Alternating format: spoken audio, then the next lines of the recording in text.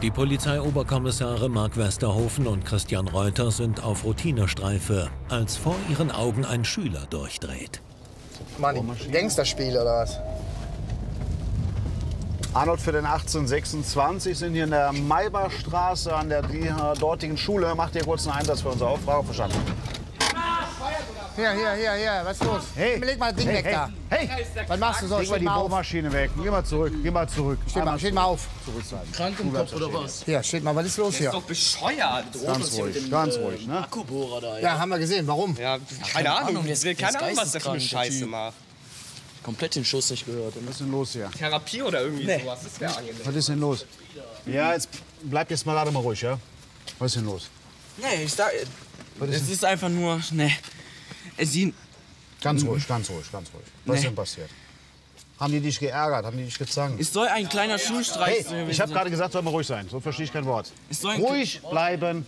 Dann lass uns doch mal in Ruhe ausreden. Wir, wir kümmern uns drum. Es sollte ein Ja, kleiner dann machst du das schon. Schulstreich werden. Ganz ruhig. So. Wir sollten, wir sollten einfach nur, das war einfach nur ein kleiner Streich gewesen und ja, aber sie, sie meinten einfach, ja, ähm, ich wusste jetzt nicht, dass das so passiert. Bestimmt nervt es euch dauerhaft. Beachte die gar nicht. Guck mich einfach an. Tu so, als wenn die gar nicht dabei sind. Nur wenige Minuten später kommt die Mutter des Jungen hinzu. Von ihrem Sohn erfährt sie den traurigen Hintergrund der gefährlichen Aktion. Wir haben jetzt. Ja, äh, sie, die mobben mich schon seit ich hier in der Schule bin. Und das wollte, und das mochte ich jetzt einfach nicht. Sie, Jetzt erzählst du denn da für einen Schwachsinn? Hey, ihr sollt ruhig sein, sonst sitzt ihr im Streifenwagen. Ja, schön, aber wenn er irgendwie äh, Quatsch weil, erzählt, weil du wir mit. Nachnamen Hund heißen, haben die einen Hundeführerschein jetzt gemacht. Was? Und Ja, komm. Ja, in der- das, ist aber, das ist aber jetzt Gelaber hier. ne, sie haben in der Tasche äh, Hundeführerscheine und noch Le Leinen und Leckerlis und das Nee. mache ich einfach nicht mehr mit. Weiß ich ist einfach von. nur schrecklich Hast du nervig. dich jetzt heute einmal gewehrt oder was? ja, pass sie mal auf. mobben nicht nur mich, sondern auch Pass mal meinen auf, Sohn. für dich jetzt noch mal zum Schluss. Ne? Wenn du dich jetzt noch ein einziges äh, dass er Mal, sich der Kollege Auto hatte schon was gesagt, noch mal etwas näher bewegst an mich heran in meinem Rücken, mehr wie zwei Meter, Alles dann gut, sitzt ja. du im Wagen drin. Verstanden. Nimm ist der Rucksack. Was ist denn da in dem Rucksack? Sind die Sachen da drin? Da gucken wir mal rein. Ey, warum muss ich den jetzt aufmachen? Hat der Kollege doch gerade gesagt. Also entweder machst du ihn freiwillig auf oder wir machen Wir den können auch auf. damit zu deinen Eltern fahren. Nö, kannst du gerne aufmachen. haben die denn gemacht? Ja, sie haben mir in der Pause eine Leine um, um den Hals gewickelt und mir, mir Hunde Komm, was ist und äh, mir einen Platz zugewiesen, dass ich Platz machen soll. Äh, und äh, äh, Rötchen haben mir Leckerlis, Leckerlis vorgeschrieben. Ausgestellt auf Jeremy Hühn. Und sie mobben mich Wer ist noch das? Mit. Und heute, ich habe gehört, dass äh, Jonas auch noch heute so eine Jonas? Das Führerschein ist jetzt quasi der Führerschein, dass du ihn führen darfst oder was? Ja. Wie, wie, wie bist du denn drauf?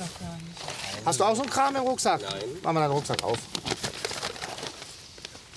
Das ist doch, das ist Ja, ein- ähm, die haben auch heute in der Pause ein Video darüber Video? gemacht. Handy dabei? Er muss das. Womit? Er, ja, ähm, Handy, Könnte also durchaus das Handy möglich der sein, dass er vielleicht doch nicht Können Sie mal gucken? Pass mal auf, soll ich das mal erklären? Pass mal auf, wir erklären erst mal. Ja, okay. Der Junge macht jetzt Angaben dazu, dass er hier genötigt wird. Ne? Das ist eine Straftat. Ich habe auch eine Angabe. Lass mal auf, das ist eine. Straftat. Ausreden lassen. so. Er macht Angaben dazu, dass sich Beweismittel für diese Straftat hier in den Taschen befinden. Dann können wir das sehr wohl durchsuchen. Ja klar, das dürfen Ne? Sie durchsuchen. So, aber wir werden auch deine Eltern jetzt gleich, wir werden jetzt gleich deine Eltern informieren. machen Dann werden wir das Handy komplett sicherstellen. Ganz einfach. Okay, Ne, Wie alt seid ihr? Wie alt bist du? 14. Und du? Ja, dann müssen wir uns eure Eltern sowieso informieren. Wir sind nämlich gerade vor zwei Ist ja Monaten Und du bist der. Janik oder was? Was soll so ein Scheiß? Nur weil er sich nicht wehren kann oder was? Der ist neu auf der Unfassbar. Schule. Also, Mann! Was ist denn, was- wie würdet ihr euch denn fühlen, wenn, wenn einer das mit euch macht? Ja, schlecht. Ja. Dann weiß ich, wieso er das mit ihm macht. Nur weil der, weil der einen, einen anderen oder einen, einen lustigen Familiennamen hat oder was? Janik Köppe hört sich auch nicht super an, oder? Ein toller Name.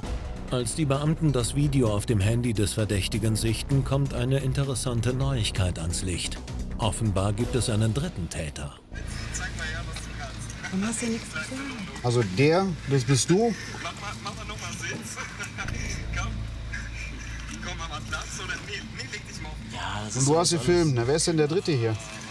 so, ist ein Riesenmissverständnis. Da ist ja noch einer mit Füßen hier, ne? Mit weißen. Ah, ein Mädchen war das. Wer war denn noch dabei? Kannst du mir noch bestimmt sagen. Da ist so ein Ja, Mädchen noch heißt, dabei. Sie heißt Lindner und sie sollte bei meinem äh, Bruder, die auch, die auch den Hundeführerschein machen. Und äh, das soll irgendwo hier auf dem Schulhof auch sein. Hast du denn eure Lehrerin? Ja, eure Lehrerin oder deinem Lehrer? schon- Sie wussten nichts davon, ne? Nee. Hast du deiner Lehrerin oder deinem Lehrer Nein, schon auch gesagt? nicht, weil ich wollte da keinen mit Nerven mit und Pass auf, da ist Verdacht einer Straftat besteht da drin. Hier, was hier am Bildmaterial, das Ding ist erstmal sichergestellt, ne? Aber das ist ja jetzt ein Jonas. Ja, der muss hier irgendwo in, äh, auf dem Schuh. Dein Bruder oder was? Ja. Wo ist der Bruder von ihm? Wisst ihr das?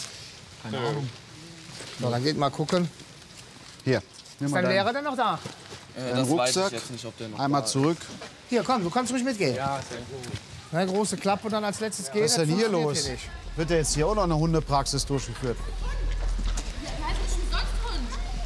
Hier, pass mal auf. Pass mal auf. Weißt du was, wir tauschen jetzt gleich, brauchst gar nicht abhauen, brauchst gar nicht abhauen. Pass auf, wir tauschen jetzt gleich mal die Rollen. kommt dabei. Was hältst du davon, wenn ich jetzt gleich mal die Leine nehme und die Leine um deinen Hals wickel und dann bei dem Jungen dann einfach mal sage, was mal auf, nimm du mal die Leine tickst du noch sauber oder was? Ist euch, hat ihr irgendwas verpasst hier in der Schule? Aber, aber das war doch nur Spaß. Das ist aber doch kein Spaß. Wie alt bist du denn? 16. Hast du einen Ausweis einmal? Deinen Rucksack? Ja, mein. Darf ich mal reingucken? Ja, klar. Wir haben ein auch, Video das gerade mal Spaß gefunden, ne? Da bist du auch mit drauf. Ein bisschen. Was für ein Video denn? Ein Video? Weiß ich ja gar nicht. Ich weiß aber von dem Video. Und du weißt ja von dem Video auch.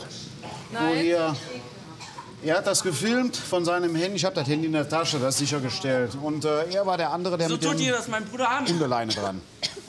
Ach, das ist der Bruder.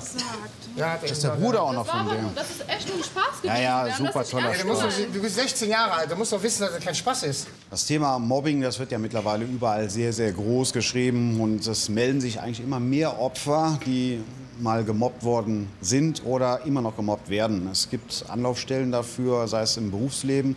Da gibt es Mobbingbeauftragte, genau wie so auch hier in der Schule auch. Wenn die keinen haben sollten, sollten sie sich auf jeden Fall an die Vorgesetzten wenden oder an deren Vorgesetzten oder auf jeden Fall an die Eltern. Das sollten die Schüler machen oder an Freunde, Bekannte, Verwandtschaft. Sich zumindest irgendjemandem anvertrauen, der sich ein bisschen damit auskennt und dann entsprechende Maßnahmen einleitet.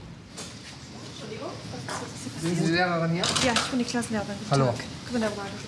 Hallo. Wir haben gerade mitbekommen, dass die zwei Hundjungs, ne, von der Familie Hund, die Jungs, von denen drei hier schwer gemobbt werden und hier genötigt werden. Gemobbt? Das schon Sprich heißt mit, mit Hundeleine hier über den Schulhof laufen, krabbeln und sie hat gerade versucht, ihn, nicht versucht, sondern sie hat ihn hier in den Hundehaufen da reingedrückt. Und das geht gar nicht, ne? Aber wie, wie kam das dazu? Wer, wer war das? Die drei hier. Nein, über, also, was habt ihr euch dabei gedacht? Haben sie auch schon gefragt. Die haben gesagt, die fänden das lustig. Das ist lustig? Ist es lustig, Leute zu verletzen? Es war doch, nur, es war doch eigentlich nur ein Scherz. Es ist kein Scherz für Menschen leiden. Christian Reuter fordert das Mädchen auf, den Hundehaufen zu entfernen. Selbst den erfahrenen Beamten geht diese Art von Mobbing sehr nahe. Warum haben die euch denn jetzt ausgesucht? Nur wegen dem Familiennamen oder was? Ja. Und ihr habt das einfach mit euch machen lassen, weil ihr euch nicht wehren konntet. Hm?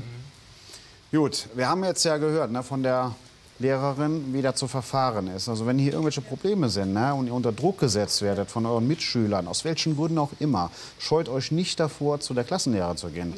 Die, mir, ne? die müssen das wissen. reden, und ver vertraut euch der Mama an und das geht alles. Ne? Aber was die hier machen, die werden sich dafür verantworten müssen. Ja? Ihr dürft immer zu mir kommen. Da fahren wir unsere Sprechstunden. Ja, die äh, Gebrüder Hund sind hier über den Zeitraum von äh, mehreren Monaten hier genötigt worden, irgendwelche Sachen zu machen, die sie nicht machen wollen. Das stellt ganz klar eine Straftat dar. Äh, die Täter, die vermeintlichen Täter, sind hier 14, 16 und 16 Jahre alt, also sind strafmündig. Und äh, da werden sie sich auch mit Sicherheit verantworten müssen.